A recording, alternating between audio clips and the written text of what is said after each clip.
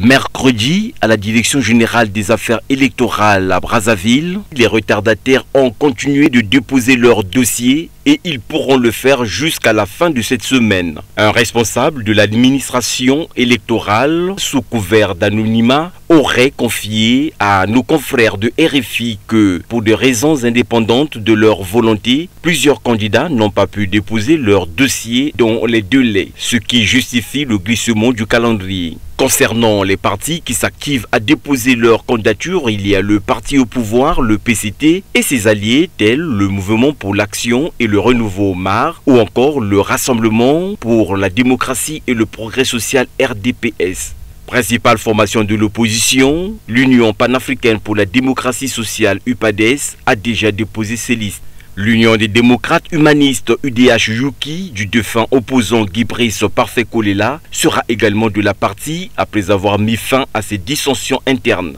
tout comme le mouvement pour l'unité, la solidarité et le travail MUST de Claudine Munari, ancienne dirigeante de la Fédération de l'opposition congolaise. Cette dernière formation, désormais dirigée par Clément Mirassa, boycotte ces élections aux côtés de l'Alliance pour la République et la démocratie ARD de Mathias Nzan.